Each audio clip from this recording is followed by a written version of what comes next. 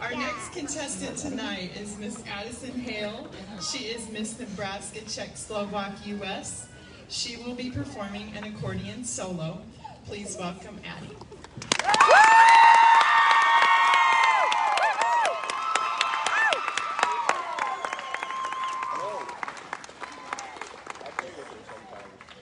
When I was eight years old, my grandfather Francis Hejl gifted me this very button accordion, thinking that it would make for the perfect talent someday when competing for the title of Miss Czechoslovak United States. Little did I know when I received this was how much of an impact this small instrument would have on my life as I know it today.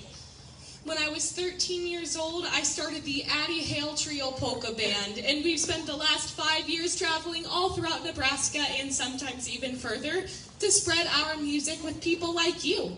Because as we know, us Czechs love our music, and it is such a special way to bring people together.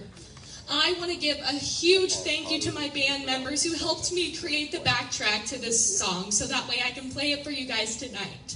So without further ado, here is the Addie Hejl Trio with the Gray Mountains Polka.